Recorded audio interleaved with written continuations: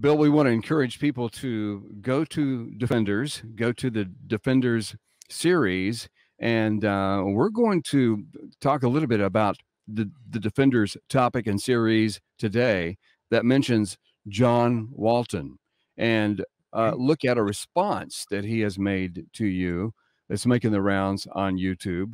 Um, tell us a little bit about the what the what the series was and uh, who John Walton is. We've discussed well, him before. I take it that this would be the series I did on doctrine of creation. And I looked at Walton's views um, of the narrative in Genesis 1, where he argues for a mutually exclusive distinction between what he calls material creation and functional creation. Material creation is bringing something into existence that did not exist before. So, for example, when a carpenter makes a desk, that would be an example of material creation. Functional creation would be when something begins to function in a certain way. And the example Walton gives is, is, is of a restaurant. Imagine a restaurant that is a renovated factory. And you could ask, well, when did the restaurant begin to exist? Well, the answer would be when it opened as a restaurant. Even though the building was already there, you don't go back to when the factory was originally created and say that's when the restaurant began. Rather, it's when the building began to function as a hmm. restaurant. Mm. And he uses this distinction to claim that Genesis 1, in describing God's creation of the light, the seas, the dry land, the sea monsters, and creatures, and finally man himself, that this is really just specifying the functions of these things and not actually bringing them into existence. Okay. This is from uh, a podcast.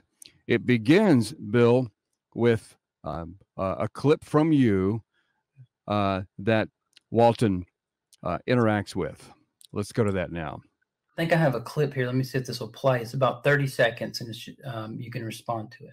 Whether uh, Genesis 1 describes God as bringing into being the things that are described, uh, whether he uses material or not, or does he merely specify the functions for things that are already in existence? I think that we have to guard here against erecting false dichotomies. Just because a text speaks of God specifying an object's function doesn't ex- exclude efficient causation as well. Walton has to show that the text of Genesis 1 is concerned exclusively with functional creation. It is not enough to show that functional creation is involved. He has to show that efficient causation does not come into the picture at all. That was William Lane Craig. Obviously, he speaks of you very highly. He said that you know that you're a super bright person, that you're a prolific author. You know, he obviously spoke about you very highly. Um, he said that he had correspondence with you, so he obviously understands that that you're a scholar of top rank, right? But he has the, one of this is one of the critiques that he has, and I just wondered, did you want to respond to that and kind of tell us what what do you see wrong with with that critique? Well, one of the most common critiques, um, you know, Dr. Craig didn't make this up one of the most common critiques is people who say, why can't it be both? You know, it's all well and good to talk about how order and function and role and purpose are significant in the biblical text, but why can't it be material too? Mm-hmm. That's basically the nature of his question. Uh, I don't have to prove that it is only function and order. It's not like the burden of proof is on me. I had to prove that there was function and order involved. Now, he sounds like he's assuming that material must be involved. You can't assume that. Uh, prove it to me. Show that material is involved. And so I go through day one, nothing material. It's time, light. Those are not material. Day two, space nothing material. Day three, it says, let the plants grow, let the dry land emerge. It doesn't say he made them, nothing material. Day four, he made the sun, moon, and stars, or he did the sun, moon, and stars. Okay, it, those sound material, but of course they're not to the Israelites. And therefore, an Israelite wouldn't read day four and say, oh, here God is making material objects. Well, no, they don't think they're material objects. They think they're lights. Day five, let fish swarm, let let birds teem. You know, it, when day after day after day after day, it doesn't talk about the material. That that leads me as a hopefully sensitive reader to say that wasn't very interesting to them. But again, I have to emphasize that doesn't mean that God did not create the material world. Of course, He did. And when He created the material world, our theology tells us He created it out of nothing because there's no material that, that was not created by God.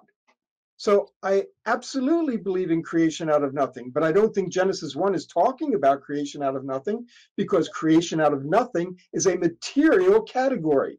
And if it's not talking in material categories, then that is not its interest.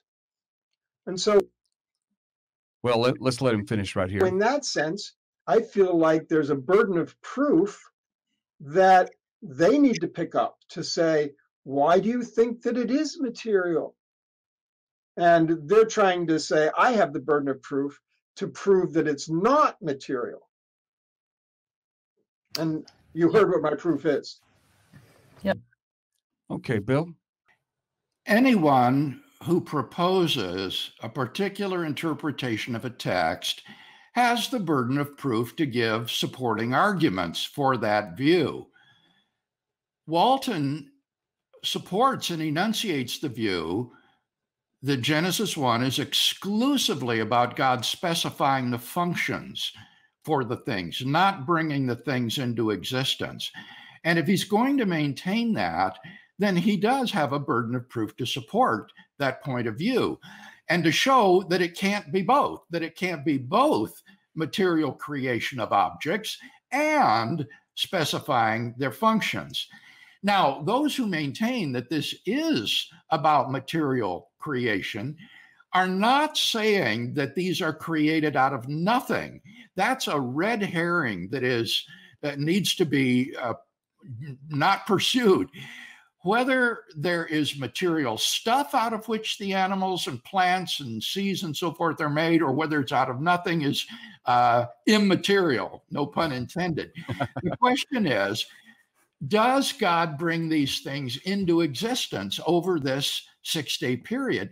And that's very obvious that they do. Over and over again, God says, Let there be. And there was. Um, so he creates light, he creates seas, uh, he creates the dry land, uh, the lights in the heavens. Um, these things didn't exist until God created them. And so the whole narrative is about how God either said, let there be, and these things come into being, or it even says God made them. Um, and before they were made, they didn't exist. Uh, for example, in Genesis 2, reflecting back on the creation of man, it says that before God created man, there was no man to till the soil. Uh, and that before he created Eve, there was not found any creature that would be fit as a helper for the first man. So clearly material creation of these things is being described, as well as then assigning to these material things various functions to carry out.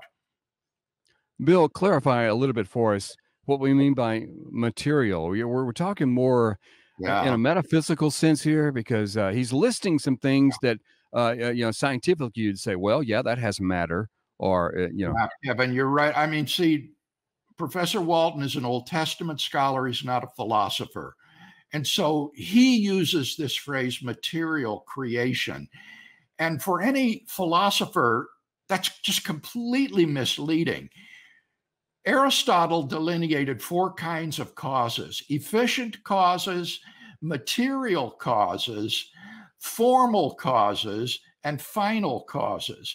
And when Aristotle talked about material causation, he means the stuff out of which things are made. Mm. So I mentioned the carpenter making the chair. The carpenter is the efficient cause of the chair, and the wood or the lumber is the material cause of the chair. Mm-hmm. And so Walton is using terminology that is very confusing in talking about whether or not Genesis 1 involves material causation. What he is really talking about, as in the clip from Defender's class, he's really talking about efficient causation. Is God the efficient cause who brings into being these various objects? And it's not a question of God's bringing into being the matter or the material. The question is, does he bring into being light and the earth and the heavens and the seas and the swarming things in the water and the birds in the air, the lights in the firmament? Well, of course he does. God, in each case, says, let there be, and these things come into existence. So, what is described in Genesis 1 is one exercise of efficient causation after another of various material objects. Okay. There's a couple of minutes left on uh, uh Dr. Walton here. We'll continue. Yeah, great point. Um, so, yeah, I really like both of you guys, of course, and I'm sure you you guys like each other. Obviously, I'm sure you you've appreciated some of the work of Craig as well. Um, I've actually talked to Craig's people. I may end up having him on the show.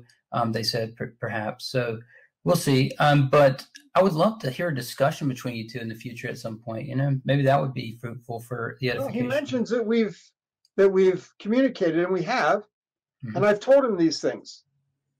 And I've told him about places where he's misunderstood or even misrepresented me. And he hasn't changed anything. So that makes me feel like he's not really much interested in productive thinking. And I'm just not interested in arguing with people. I understand. Well, thank you so much for answering those questions. Um, we're going to go to Q&A. Uh, well, Bill, uh. Right. Uh, we we had some correspondence, and I felt that he was confused, as I just explained, and um, that therefore my criticism stuck. And there was no need to change these criticisms because they were accurate. Um, I, I think in the clip that we just watched, you saw some of those same confusions where he talked about whether the things were material objects or not, and whether or not this involved creatio ex nihilo, and so forth. It, it's it's a very confused discussion. But at the same time, I do want to emphasize my appreciation for John Walton. And mm-hmm. in my forthcoming book, In Quest of the Historical Adam, if you look for his name in the index at the end of the book, you'll find that he is cited over and over again, sometimes with approval, but also then sometimes he comes in for criticism. So uh, I, I both appreciate him and also disagree with him on certain things. Sure. And Bill, I'm I'm not sure where you would what you would change or where you would change it, even if uh, even if you wanted to. In, other words, he's interacting with a clip that you've already recorded uh, with defenders, and the only way that if you could acknowledge a, a change or a sea change or acknowledgement of his view after interaction with him would be on on one of these podcasts or on a future defender. Well, I think what he may be thinking of, Kevin, is the time in between Defenders 2, ah. when I taught Doctrine of Creation and offered these criticisms of Walton. And then we had this correspondence because somebody sent in my lesson or something. And then I taught Defenders 3, where we went through that section again. And I didn't change anything substantially because I felt that I had responsibly exposited his view accurately and then offered some very telling criticisms. And he's absolutely right when he says this criticism isn't original. He says, everybody says, why can't it be both?